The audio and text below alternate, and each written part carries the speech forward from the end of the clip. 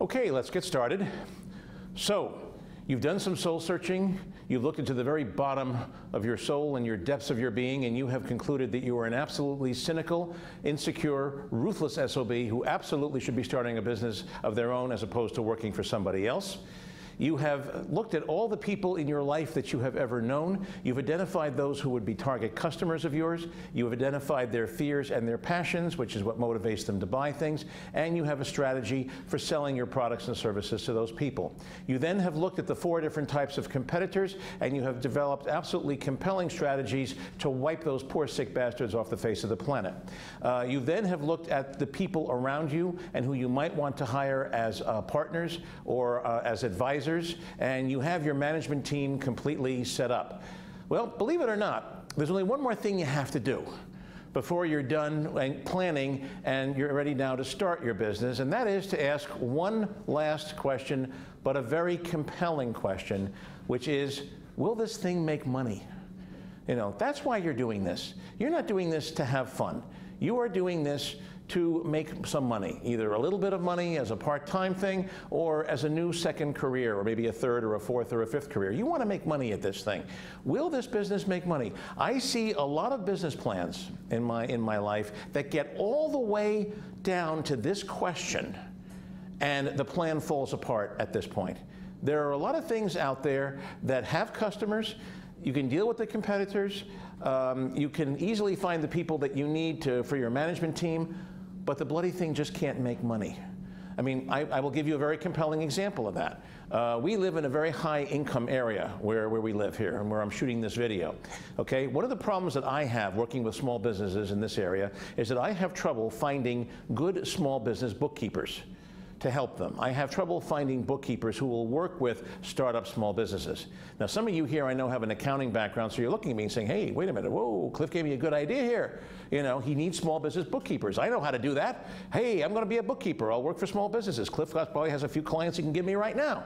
Okay? No question, the customers are there. I can help you find people. I know five, ten people right now that are looking for small for help with uh, with their bookkeeping to get a small business off the ground. I can get you business. There isn't a whole lot of competition either, right? I told you I'm having trouble finding these people, right? You know, it's a business you can do yourself. You don't need partners. You don't need a, a technical big board of advisors, although I still suggest you have a couple, right? So what's the issue here? Why is it that so few people are doing bookkeeping, you know, in this area? Well, let me ask a question. If you were looking to hire a bookkeeper, how much would you pay that person? Would you be willing to pay that person $200 an hour? How about 100? How about 50? How about 20? 20 is starting to sound about right now. I'm starting to see a couple people shake their heads. In this area, the average going rate for bookkeepers is 20 to $30 an hour. How many of you here can live on $20, $30 an hour? This is why there are so few small business bookkeepers here in the area where we live. It's a great business plan, except that you can't make money at it. People will not pay you what you need to make in order to make a decent living. That's a classic example of that. Okay? So what we're going to learn about tonight is financial management, basically. I hate to use those words because it scares people off. You think we're going to be talking about a lot of numbers and equations and stuff like that, and that's not how I roll. Um, I talk about the real world and how people that I work with actually do this stuff. What we're going to be learning about tonight is where does money come from? Number one, doesn't grow on trees, right? We know that. Where do, you, where do you find the money you know, that you need to grow your business? Number one. Two, how do you do the financial planning for a startup business? How do you plan your cash flow, your cash flow projections, your operating budget? We're going to talk about that tonight. And then last but not least, we're going to talk a little bit about how to price your product and service, because that's one of the big questions that you have when you're starting off a business. How should I price myself, especially if I'm doing some kind of a weird service? There isn't a lot of it being done in this area. You know, how do I price myself competitively in that situation? Those are the topics that we're going to be talking about tonight. So without any further ado, let's get started. Where does money come from? Well, believe it or not, whole books have been written on this topic, and I, I really want to make it simple for you. I, I really do. Um, you know, I'm not going to talk a lot about angels and venture capital and SBA loans and all the stuff that you usually talk about, uh, because quite frankly, none of you here in this room are ready for that yet. You're just getting started. You're just, most of you here are just getting, some of you are at the idea or concept stage, some of you aren't even there, um, but most of you are just getting off the ground. And for a startup business, it's very simple. There are two places, and only two, where money comes from for a startup small business, a business that's just getting off the ground. Uh, here's how I like to illustrate this. Here is your business, that's the square, and money comes from two different places. It comes from your customers, the people you sell to, your clients, the, and the money that comes from these people we call revenue or gross revenue, sometimes net revenue. We'll talk about the difference later. Um, okay, from your customers. People pay you for your services, and that is considered revenue. Okay? The second place that money comes from is from the owners of the business. That means you, that means your partners, the people who are sharing in, in the profits and losses of the business. That means any money that you have borrowed uh, on your credit cards, because those are in your name, not in your business name. Any money that you may have gotten from a second, third, fourth, or fifth mortgage loan would come in here. Any money that you borrowed from Uncle Ernie in the form of a private loan for so, so much money. Any money that is being made to you and then you are putting it into the business we, is, all, is, is all included in all of this. The money that owners put into the business is referred to as capital. Revenue and capital. These are the only two places that money comes from for a startup small business. Once you get a little bit bigger, then there are more places you can get money from. You can get uh, take out an SBA loan or a, a, micro loan, a working capital loan, which the SBA offers. Uh, you can do an angel, uh, get money from an angel. You can get money from venture capitalists. All of that is down the road. When you're first starting out, though, these are the only two places where money comes from. I work with a lot of investors, and they all say the same thing to me. They say, Cliff, we're perfectly happy to invest in a company that's growing, that's expanding, that needs our money to get from level one to level two. But first, they've got to get to level one. If they're looking for money to pay their light bill or their utility bills, I'm not interested in that, quite frankly. I, you know, I, I don't want to be, I don't want to be funding that kind of stuff. They should be generating enough revenue to cover those kinds of expenses. Uh, I don't really want to be, be involved in that initial stage. If I talk to, if I'm talking to a business that hasn't gotten to that stage yet, my, my answer, although I'll probably say it a lot nicer than this, is come back when you grow up. Okay? Now, these are the only two places that money comes from for a startup business, and there's kind of a trade off between them because each month or each quarter, sometimes each week, the business has expenses to pay. Okay? And there are different kinds of expenses. There are fixed expenses. So, for example, if you have a retail business, there's your rent. Um, you know, there's the electric bill that comes every month. There are also variable costs, such as your payroll. You know, you hire more people when you're busy. You lay off people when you're not so busy. That's why it's called a variable cost. All of these things have to be paid every month okay? If your customers are not paying you enough money in the form of revenue to pay those expenses each month, well, who has to handle the, who, who has to cover the shortfall? Answer, these people, okay? When there are only two ways to make money for a business, there's a trade-off between the two. The lower this amount is, the more these people have to cough up to keep the business on life support, okay?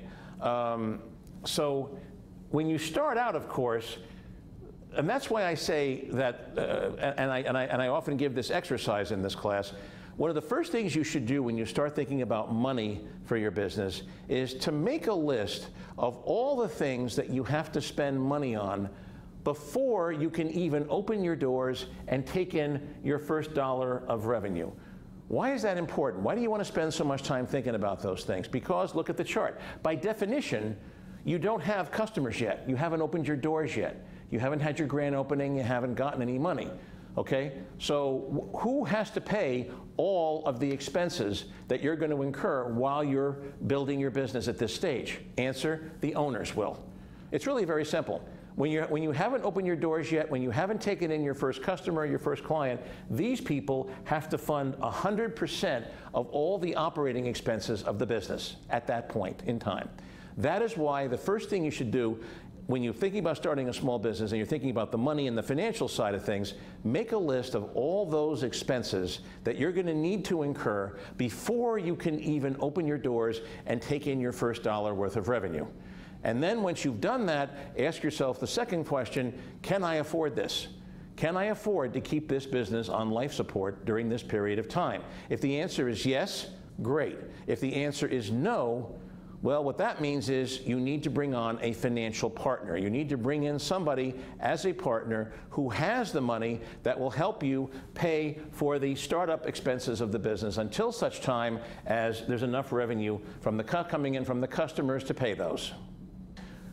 Okay, so now let's talk about this a little bit. Eventually, so, so let's say you start a business today, you run it for several months, money starts to trickle in, and eventually you get to a point in time where the revenue that's coming in from your customers each month is enough to pay the operating expenses of the business for that month. Hip hip hooray. This is a major moment in the life of any small business. We have a name for it.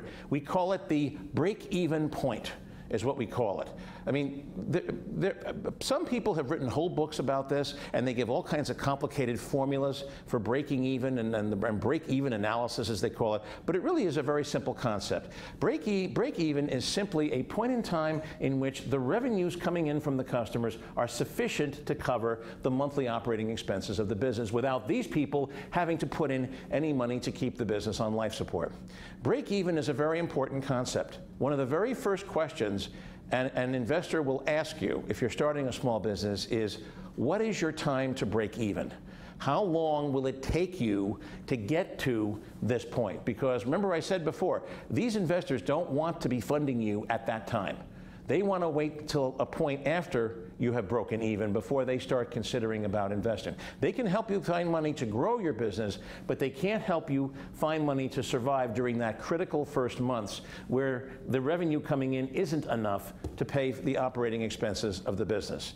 It's a very important concept. For the average small business, the time to break even should be somewhere between 6 and 18 months in general, depending on the nature of the business. Uh, for a basic service business, say a cleaning service, where you can start getting money from day one, or maybe a solo law firm, you know, the prime to prime to break even should be two to three months. For a manufacturing business, for a business where there's going to be more of a long ramp up time, let's say, for example, you're developing a software product, for example, where you have to research it, develop it, patent it maybe, or copyright it, you know, then you're looking at a much longer time to break even. You're probably looking at a 12 to 24 month period. But anything anything beyond 24 months, I think, is going to be a problem unless you are incredibly wealthy uh, and you can afford it. How many of you here would feel comfortable hitting up your credit cards 60 months in a row, five years, to start a business of your own and pay all the monthly expenses on that credit card for 60 months? I'm not seeing a whole lot of hands here. Okay, well, don't feel bad. This is exactly how your investor is looking at it as well. You know, very few people will be willing to, the longer it takes you to break even, the more frightened these people are going to get. Sooner or later, these people are going to lose heart. Hey, Cliff, it's been 36 months now. We're still hitting up our credit cards to keep this business on life support. Man, what's happening? When are you going to, when is this thing going to take off? When are you going to break even here so that you don't have to call us every month asking for more money? You know, they're going to start asking questions like that. And even if it's you, even if you don't have partners, sooner or later, you're going to get tired of doing this as well. You're going to see that credit card balance going up and up and up and up. And at some point, you're going to say, hey, no more. I, am just not doing this anymore. I'm cutting my losses now. I got to I gotta pay that sucker off. I need a second job just to pay off my credit card. You're human too. Okay? The longer it takes for break even to happen, the more frightened these people are going to be. Conversely, on the other hand, the sooner this happens, the sooner you can break even, two very wonderful things start to happen. Number one, these people start breathing a lot easier. okay, he did it. We were a little worried there for a while, but Cliff's breaking even now. We're not worried anymore. He's not hitting us up for money every month. That's the first good thing. The second good thing is if you really break even fast, really fast, other people will want to come in and be owners and make capital contributions to your company now because they see success. Selling investors is really very easy. I, I, often tell my, my clients it's a matter of verb tense, the tense of the verb that you use when you're selling and pitching your company to them. Very few people will invest in something that is going to happen someday, but many, many people, including maybe you, some of you in this room, would invest in something that is happening right now. If I can persuade you that I've got a bottle rocket that is leaving the launching pad right now, and it's only a question of whether it's your money on board or somebody else's, you will start digging into your wallet because you want to be part of the next Facebook, the next Twitter, the next Snapchat, the next whatever okay? But if I keep saying about, if I keep talking about, well, now this may happen uh, if we do this, and if X, Y, and Z falls into place, then this business will do. Your eyes are going to start glazing over at some point, saying, you know what, this thing is too far in the future. I'm not so sure that I want to put my money in right now. Let's wait until this is a little further down the road and is closer to happening, and then I'll, I'll consider putting some of my money in. Uh, the verb tense that you use is very, very important when you're trying to sell investors. You really want to, and the best way to do that is to show a very, very very short time to break even. Okay? So this is lesson number one. Money only comes, at least in the beginning. When you get bigger, there's definitely more places you can get money. But in the beginning, everything comes from these two people. Okay? It either comes from the customers or the owners. The longer it takes the customers to, to support the business, the more nervous these people are going to get until finally they get to a point where they just don't want to do it anymore. The sooner you can get to break even, the better everybody feels, and the more and the greater the likelihood that you will get money from additional people. People, uh, what's the famous old Chinese saying? Success has a thousand fathers. Failure is an orphan. Okay, by showing a short time to break even, you're showing investors and other two people too that you are going to be successful. So, that's lesson number one. Where does money come from? Okay. So now, how do you do your financial planning for a startup business? This is tough. For an established business, financial planning is very easy. Why? Because we have money coming in every month. We have revenue coming in every month. We know what our expenses are. We can budget, we can plan. But how do we do that for a startup business where we don't know a lot of the stuff? We don't really know what a lot of the numbers are going to be. Okay, how do we do it? Well, here's how most of my clients do it, and here's, and you know, maybe it, it follows a textbook and maybe it doesn't. Um, but it's the way that, mo that most people starting a business do it. And it's not rocket science. You do not have to be a math wizard to, pl to plan financially for a startup business. There are a number of steps. The first step is to know your costs and know them cold.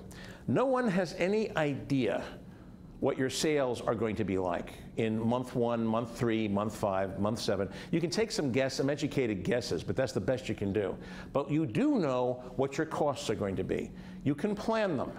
Um, if you're using a bookkeeper, uh, for example, they will have sample what they call charts of account for various types of small businesses. So for example, if you are a solo lawyer and you're hiring a bookkeeper, you can ask him, could you show me some charts of accounts for some of your other solo law firm clients, with of course the numbers and names taken out. You, you know, he's not going to disclose confidential information of another client, but you can certainly ask him to show you, and there will be a list of all the expenses that a typical solo law firm has. The rent, the payroll, the computers, all that stuff. It'll all be spelled out for you. All you got to do is plug in the numbers you know, but if you're, and, and there are books too online that can help you with sample charts of accounts. So for example, if you're starting an antiques business, for example, uh, the people who publish Entrepreneur Magazine have some excellent books on how to set up an antiques business, and they give you different charts of account uh, for that, for that, for those, for those types of business. You can find this information online or by paying a few bucks. You can get template charts of accounts, but the best one, the chart of accounts, is the one that you do yourself. And a chart of accounts is very simple. It's simply a listing of all the costs that you're going to incur and when you're going to incur them. It's a spreadsheet. What you do is you take a spreadsheet, you start with the current year, so uh, you know January, you know 2000, whatever, February, March, April, May. You put 12 months in. I suggest 18 months if you can do it. And then for each of the categories, you plug in how much you're going to have to spend each of those months for the next 12 to 18 months. So if you know that your rent is going to be approximately $2,500 a month for your retail space or your office space, you put $2,500 in each of the rent boxes for the next 18 months. Okay, simple enough, right? And you do this for all of your costs. Here is an area where your ruthlessness is very important. Uh, it's very easy to underestimate cost when you're starting a small business. It's very easy to do. One of the, uh, you're going to have to look for costs, even things that you haven't even considered. That's why I suggest looking at some sample charts of accounts, because it will suggest costs to you that you don't know about. So, for example, your rent, your payroll, your computer, all that, that stuff you'll probably think about. But what about insurance? What about the cost of legal fees? If you want to form an LLC, you're going to have to pay a lawyer, an accountant, or somebody, LegalZoom or somebody like that, to do it, right? You, people forget to put that cost in. Professional services is one of the most overlooked startup costs. You should always have a, a line item for that stuff. You know, people overlook costs. You got to be ruthless. Think of costs, even if you don't think you're going to be spending money on it for a while. Make it a line item and just put a number in there and, and just and play with it and see what happens. This is all you're doing now. You're plotting your costs over the next 12 to 18 months. That's the first step in putting together uh, the, the, necessary financial statements for a startup business.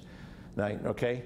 Um, now, there's two things when you're, do, when you're doing this, when you're plotting your costs for the future, two little pieces of advice. Do you include your time? Do you build in a salary for yourself? This is a big question. Some people do, some people don't. I have clients who say, well, for the first six months, I'm not going to put in any salary for myself because I know I'm not going to, I'm just going to be making enough money to pay the rent every month probably. I don't think I'm going to have enough left over for that. I have other clients who say, I want to be earning money from the business from day one. I want to live off the business. Have you ever heard the, somebody say that they're living off the business? That's really what they mean. Your time is a cost. It's, it's, not, it's not something that you always get paid for. But you know, to start a small business, you're going to be putting in a lot of hours. You should at least, as a cost, be putting in a number for, I think you should, for your time that you're going to be spending here. It can be minimum wage. Um, the best way to do it is to find out what people would pay you to do the same job if you were doing it for somebody else. So for example, uh, if you're starting up a restaurant, for example, and you're going to be the primary cook, the primary chef, find out what chefs at similar restaurants are making and plug that number in as, uh, as, as the number for your time. So if the average you know, fast food chef in your town is making $40 an hour, that's what you plug in. You're not going to get it chances are, especially in the first few months, you're not going to get it. But it's a good idea to keep track of your time, how much you're spending, and especially how much money you're foregoing by not working for someone else. If after 18 months you haven't, you haven't started paying yourself a little something, you're probably in the wrong business. I hate to say it. You should be making at least a little bit over your basic expenses so that you can pay yourself a little something after 12, 18 months. If that's not happening, you probably should be working, you're probably better off working for somebody else and getting paid, you know, on a W-2, on a payroll. You're probably better off. So I tend to think you should put your time in. Some people don't, especially for the first few months because they know that, you know, the revenue's not going to be there. But get into the habit of paying yourself and putting things on the books that eventually, money that will eventually get into your pocket. So that's the first thing you need to do. That's the first thing, um, the first thing you need to know about uh, the costs. Then the second thing, okay, when you have your chart of accounts together, when you have all your, your costs projected over the next 12 to 18 months, go down each of the line items and increase them 20 to 25 percent. Just go into each of the boxes. Excel, if you're using Excel, there's a function where they can do it automatically, so you don't have to do it for each box.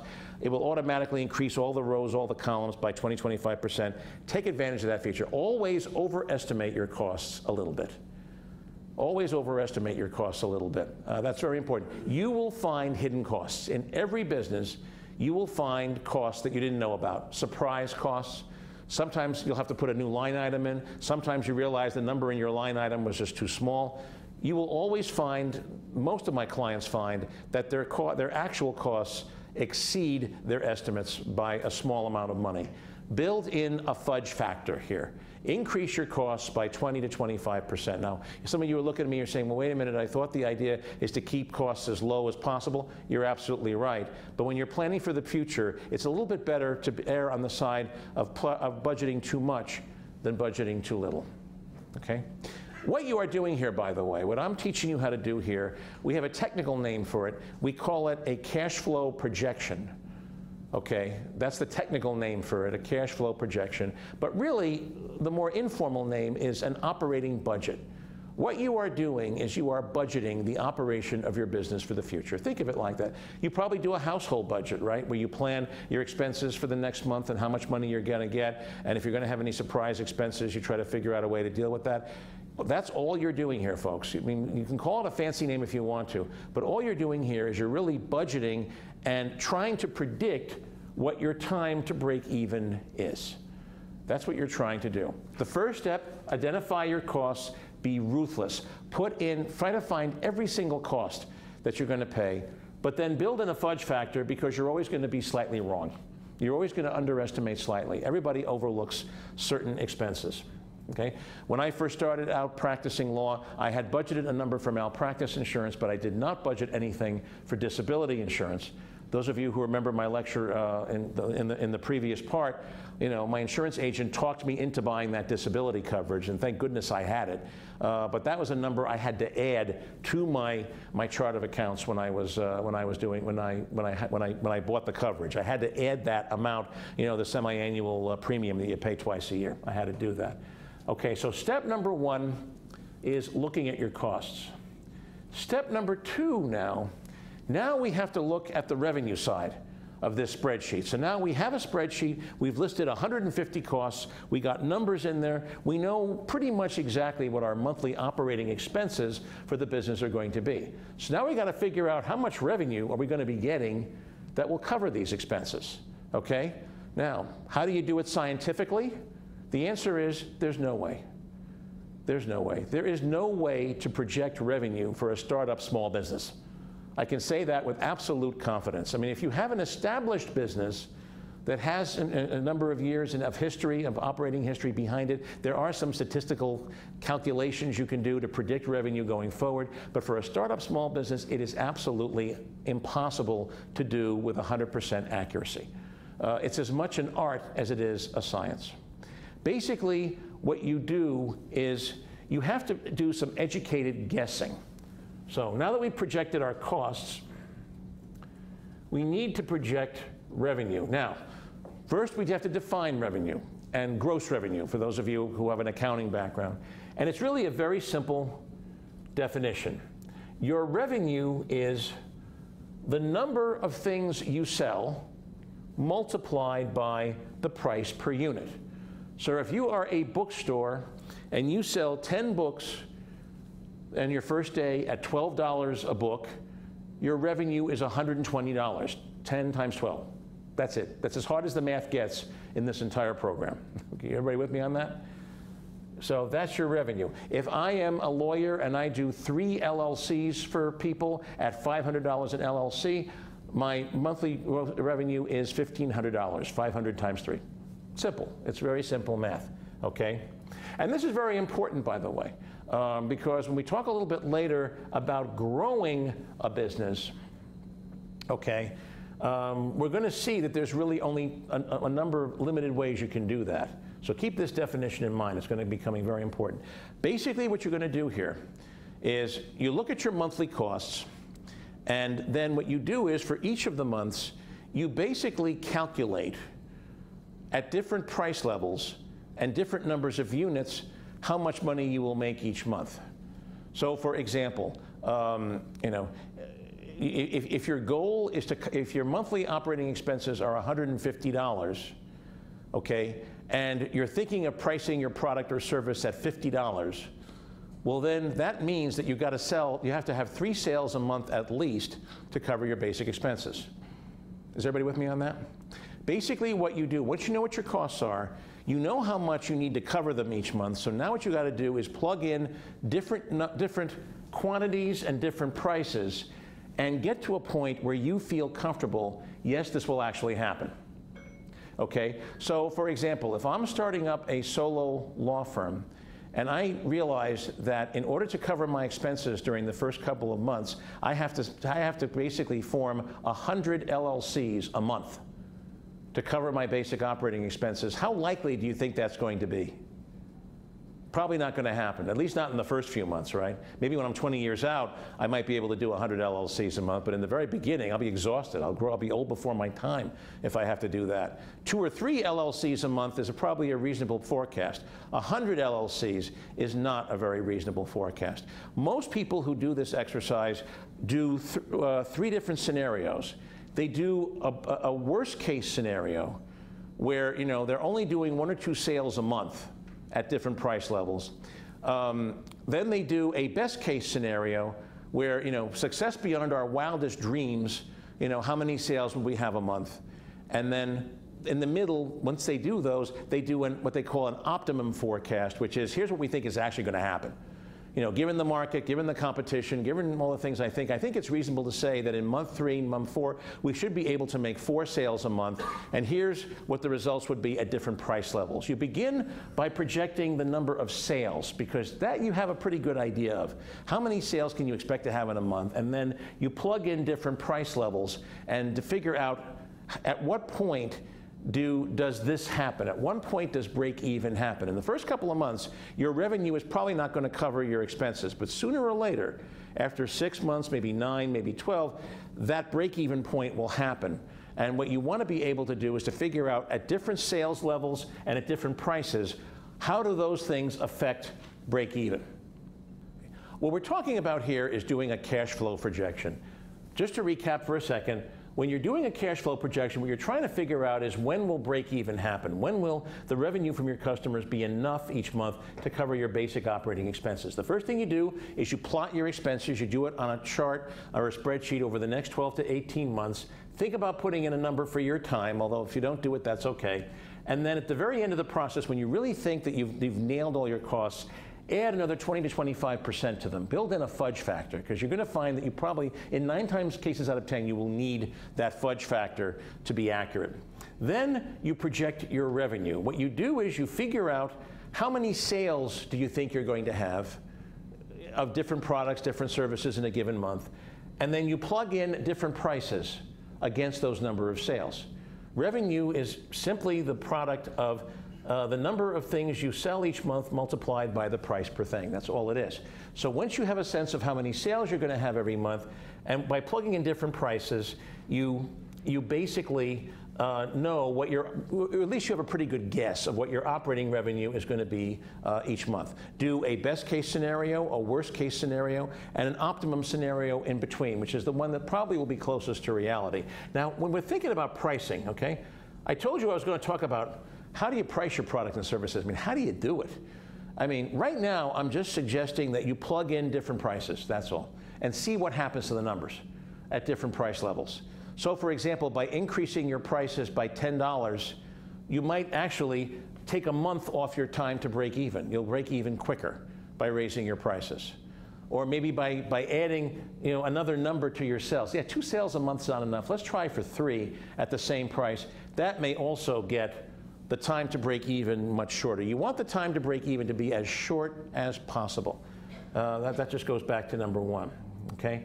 So when we're, when we're plugging in numbers on prices though, I mean, how do we do it? I mean, how do we know how to price our stuff, okay? Um, that takes a little bit of imagination, but, but not very much. Um, but there are two things that you need to know. So but, but, but, there are a couple of things you need to know, and I'm going to talk about them in a minute. But first of all, I want to finish the, the cash flow projection. So let's say, for example, now you do this exercise, and even, and when you finish it, even at your best case scenario, the, the, the best situation that could possibly happen, you know, one sale a month, or, you know, 20, the lowest price that you can possibly charge, you're still taking 12 to 18 months to break even. The costs are simply too big, okay? Well, then there's, there's two ways you can handle that, obviously. You can either increase your revenue, you, it, it means you're not charging enough, or lower your costs. It means your costs are too high. Now, of course, you built in this fudge factor, so they may very well be a little bit too high, but you don't want to cut the fudge factor. What you really want to do at that point is to look at all your costs on this chart and say, you know what, am I spending too much on A, B, and C? Am I, am I manufacturing this product in the United States? Okay, can I save money by manufacturing in China?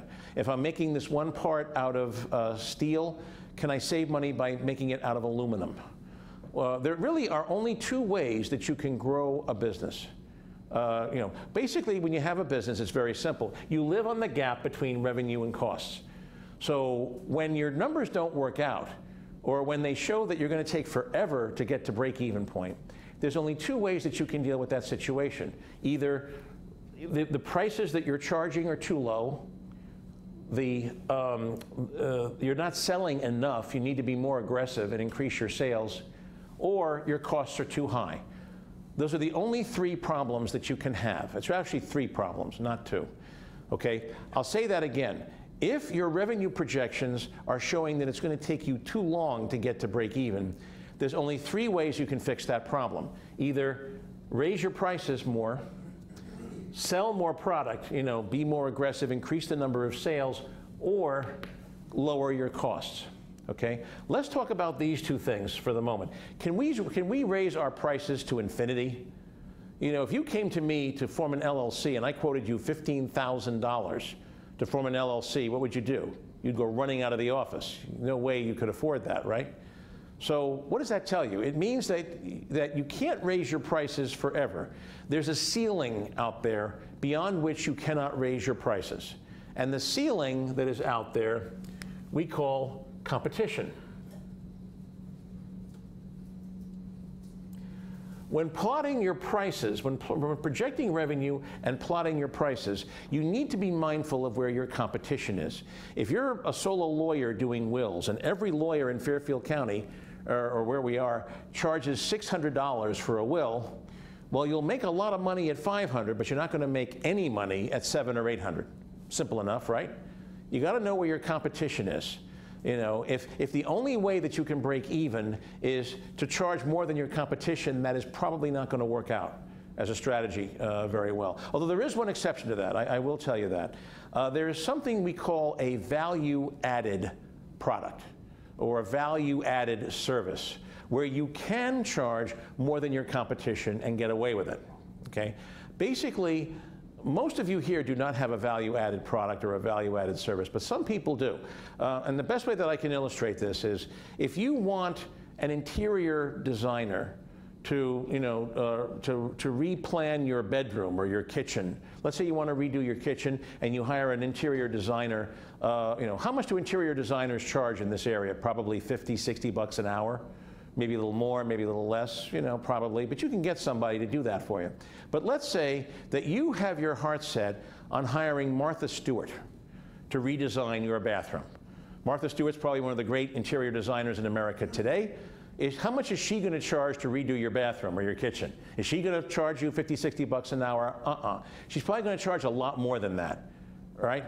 But why can she do that? I mean, how can she get away with that since all her competition is 50, 60 bucks out? The answer is she's Martha Stewart. You know, she's like, you know, world famous for doing this kind of stuff.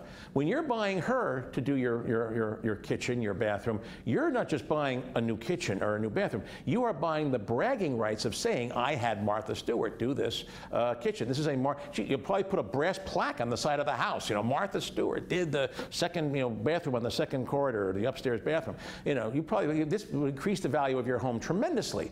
You know, so that's why she could charge a premium price, whatever it is. Uh, I don't even know if she does that kind of work anymore.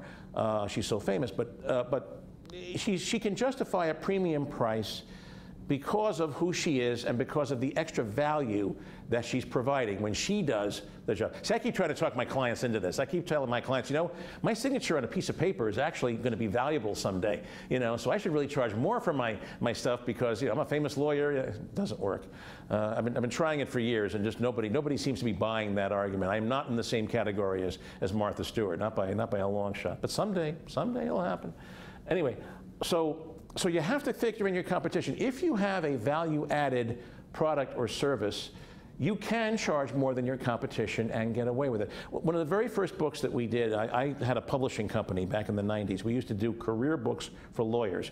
And one of our very first books that we did was a book on how to interview for a legal job. That, was, that wasn't the title of it, but that was the subject. How to interview as a young lawyer interviewing with a law firm or a government agency, how do you interview for a legal job, okay? Now, there were plenty of books out on interviewing at that time. I'm going back about 20 years to early 1990s. Uh, there were plenty of books out there, and they were mostly priced in the 12 to $15 range. But they weren't targeting lawyers. Our book was telling lawyers specifically how to interview for a legal job. Believe it or not, there was no book in the marketplace at that time. We had the first book in the market to, talk, to talk about how to interview for a legal job. So when we did our pricing, we said to ourselves, you know what? We have a value added product here.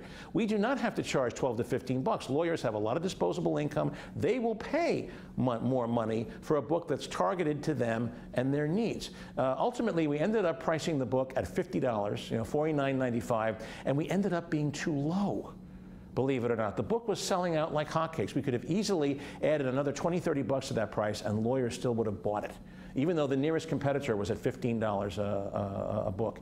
That's what I mean by a value added product or service. But unless you have something like that, going on. Unless you have some peculiar, unless you can say with a straight face, well, our products and services are light years beyond the competition, that's why we can justify charging more, it's probably not going to work quite frankly.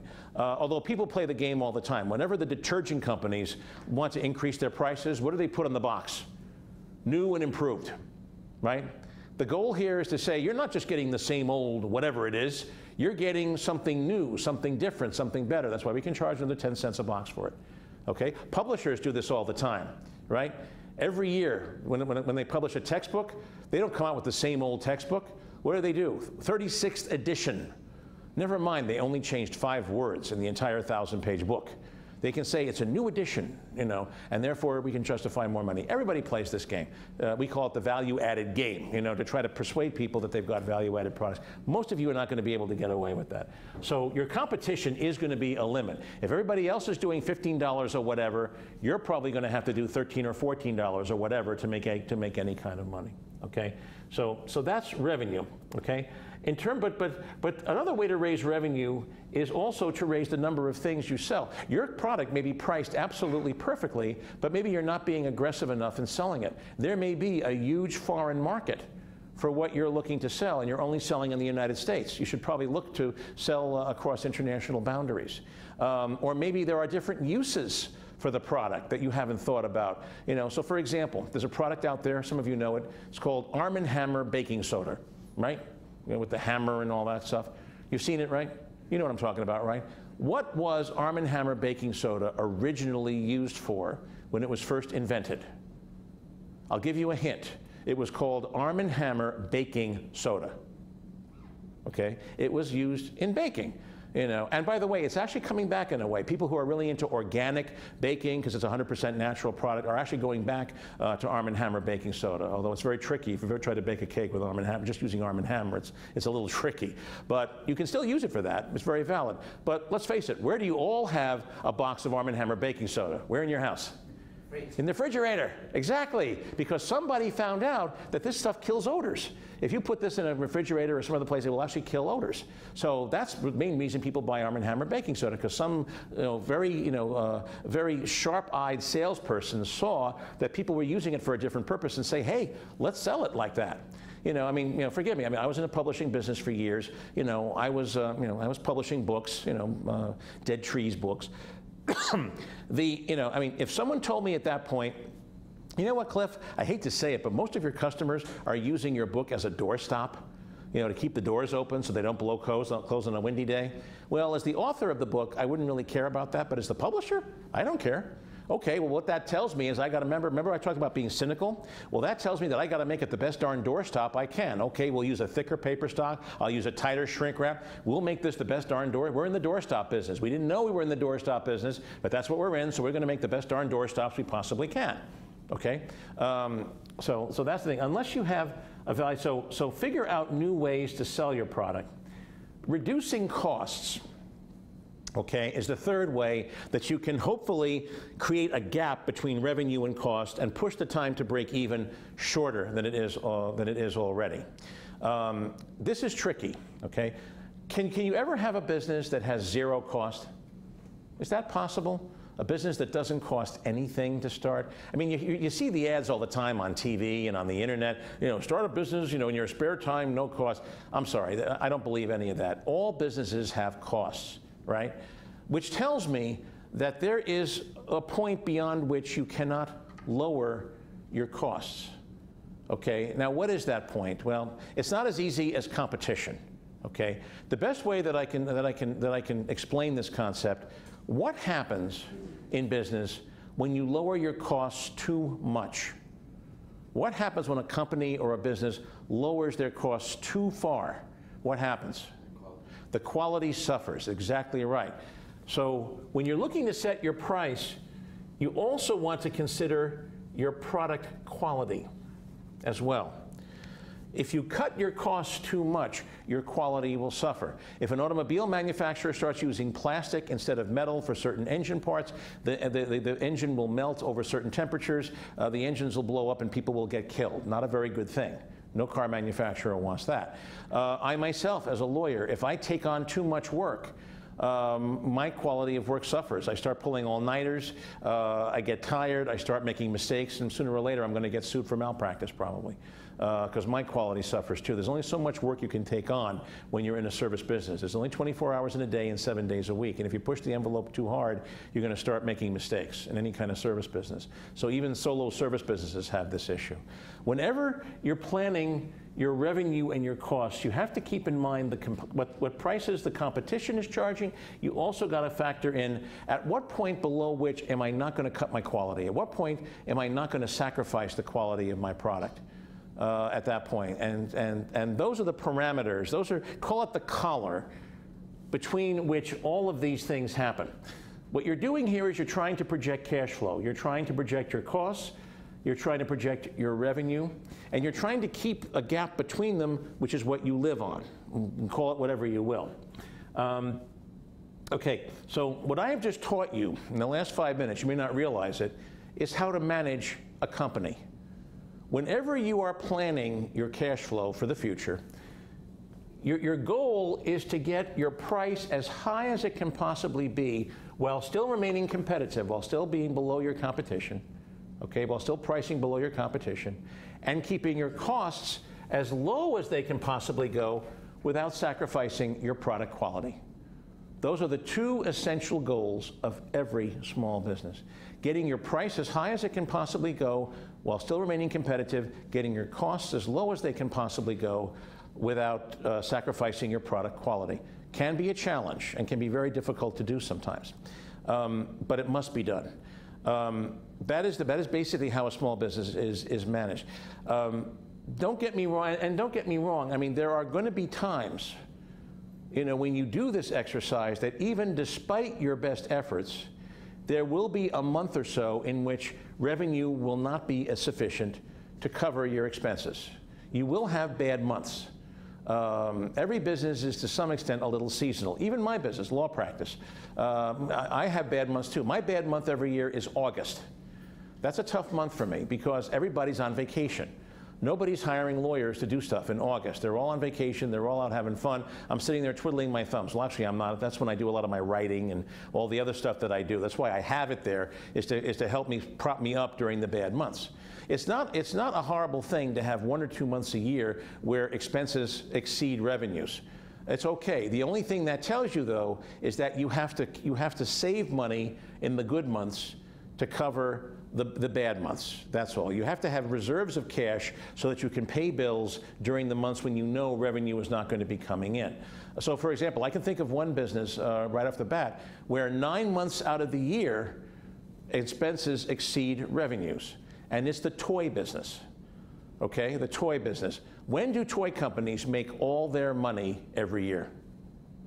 The Christmas and Hanukkah rush, the fourth quarter of the year. During October, November, December, maybe a little bit in January, they do great. But from January to September, Zippo. They got nothing coming in. They got some sales, birthdays, and that kind of stuff, but it usually isn't enough to cover their, their big operating expenses. What those companies have to do to survive, they have to make enough during those last three months to cover the rest of their year's operations. And if they can't do that, that's why the toy companies always sweat the, the Christmas and Hanukkah sales.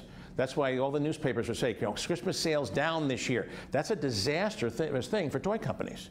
You know, if Christmas sales are down, they could have a really, really rough year next year. Uh, companies, ice cream companies, ice cream stores. Do you go out for ice cream three times a week in February? You know, in, in the middle of a raging blizzard, are you going to go out for an ice cream cone? Well, some people might actually. I, I'm one of those people. I like ice cream year round. But most people won't. Most people go for ice cream in the summer months when it's hot. Right, that's when ice cream companies make their money, spring to early fall, like from maybe March, April to October. The other, I mean, I actually know ice cream stores that close down from October to April. They, they go, the, the owners go south. Uh, they, have, they take their vacation then because uh, there's, not, there's not enough money to be made. No matter how well you plan, you're always, you're never going to have a such scenario where revenue exceeds expenses every month. You're going to have bad times. Bad economies uh, will drive your sales down too, to the point. But again, your goals are always the same. Your goals are to keep your prices as high as they can possibly go while still remaining competitive keeping your costs as low as they can possibly go while still maintaining your product quality. And if you see by doing your cash flow projection that those two objectives are not possible, the only three ways that you can deal with that is to reduce your costs, increase your prices, or increase the number of units that you sell. Those are the by getting more sales, by finding more uses for the product, more markets for the product, or simply selling more aggressively. This is where your ruthlessness comes out. If your numbers are too thin, for you to live on. Or worse, if you're underwater, if your expenses are exceeding revenues more than a couple of months a year, unless, of course, you're in a highly seasonal business like the toy business, then you got to get, this is where your ruthlessness has to kick in. This is where you got to say, I got to find new ways, new innovative ways of getting those costs down. I got to find, is there some country, maybe in sub Saharan Africa, where I can get labor for $3 an hour? I need $3 an hour for labor to make these numbers work. Is there a country over there where I can, you know, can I can do business, and can I do business over there? Can I find someone who can help me run a factory in whatever that country is? This is how innovation takes place within markets. Somebody wakes up and realizes that the, that the money they're making, the revenues aren't high enough, the costs are too high.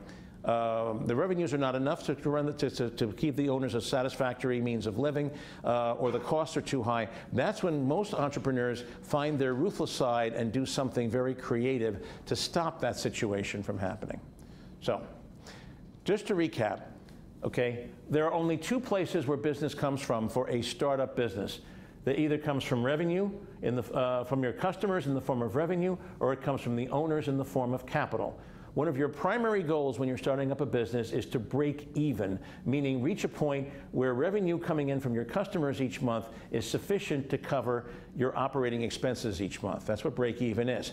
The shorter you can make that time to break even, the, the, the, better you will sleep at nights and the easier it will be to attract investors in the future.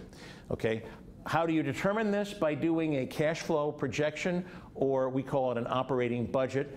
First, you project your costs over a period of 12 to 18 months. Really be ruthless here. Find every single cost that is available. Um, consider factoring in your time as, a, as an operating cost, either at minimum wage or whatever somebody else would pay you to do a similar job if you were working for somebody else rather than for yourself. And build in a fudge factor, I recommend 20 to 25% for, for extraneous expenses, miscellaneous, because you will find things. No matter how hard you research your costs, you will find other costs out there once you start in business, and you want to make sure that you've covered that in your planning. You don't want a $10 increase in one line item knocking, your, knocking you into an unprofitable position. You don't want that. You don't want to plan it too closely. You want to leave some, some wiggle room for error. Okay, once you projected your costs, now you have to project the revenue that will cover those costs. I always suggest begin not by, with prices, begin with sales. How many sales of each product can you reasonably expect each month? Plot that number first, then plug in different prices and see how the numbers affect your profit margin, the difference between your revenue and your costs. If the numbers are too thin, or if you see yourself in a situation where revenues are not covering costs and it's going to take you forever to break in, well, now you have to make some adjustments, and there are only three adjustments you can make. You can either increase your price if you can, keeping in mind that you cannot charge more than your competition is charging unless you have a value added product or service, or sell more aggressively, increase the number of sales that you make every month, or both. Obviously, you can do both. Or the third thing you can do, I mean, if there's no way, if there's no way you can you can you can increase your sales, no way you can increase your prices, then you really got to get these costs down as much as you can without sacrificing the, your product quality, the quality of the product, the quality of the service that you want to provide to people. That is basic financial management in a nutshell. As you can see, it's largely a guessing game but it's an educated guessing game. Don't be afraid to call competitors and ask them what their prices are. Don't be afraid to look around and see, can something be made cheaper? Than, it, than elsewhere. Don't be afraid to ask these questions. In fact, when you're in business, every day you will be asking these questions. Can I squeeze another 25 cents? Can I raise my prices by another $5 an hour and get away with it without losing too many customers? Uh, can, I, can I cut my price? Can I, cut, can, I, can I get my supplier to charge me $25 less per widget, 25 cents less per widget? Um, because I really, need to, I really need that in order to survive.